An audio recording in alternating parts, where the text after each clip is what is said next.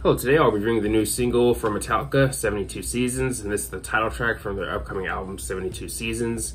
This is the fourth single, and I have reviewed the previous three singles on the channel, so if you haven't seen my review for the previous three singles, definitely check those out after this review right here if you want to hear my thoughts on those songs. But yeah, let's go ahead and dive into this new one here. So you got the intro or build up that overall I'm liking. It definitely gets you pumped for what's to come later in the song get to around the 50 seconds mark where you get a bit more speed, things start to pick up a bit more.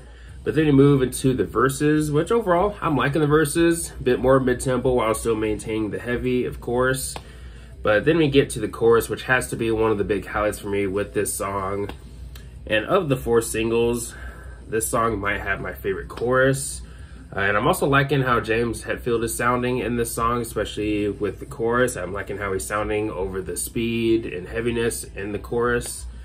But then we also move to the solo, and overall, I like the solo. I wouldn't say that I love the solo, but I do like it though. But basically, how I feel with Kirk's solos and these recent singles is that overall, I think they're solid, but nothing super remarkable or amazing or anything like that. And nothing wrong with that. Uh, well, depending on who you ask, but um, not not every solo you hear, especially with more recent material, has to be awing or wowing or anything like that. I'm not trying to say that, but that's just basically how I feel about the more recent solos that we've gotten from Kirk.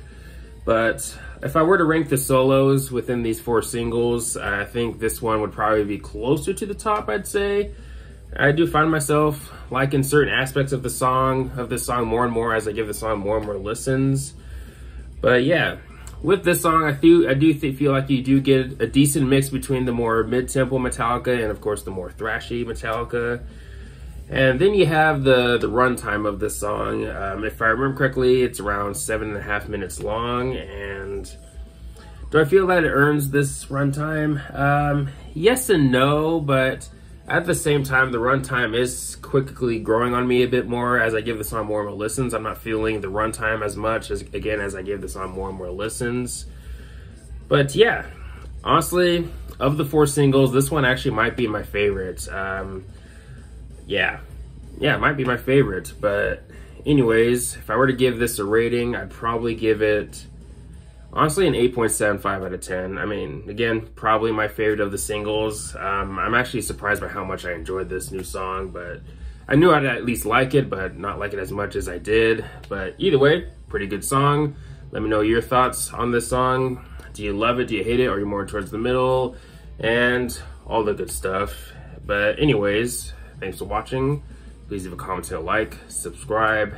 Have a nice day, and take care.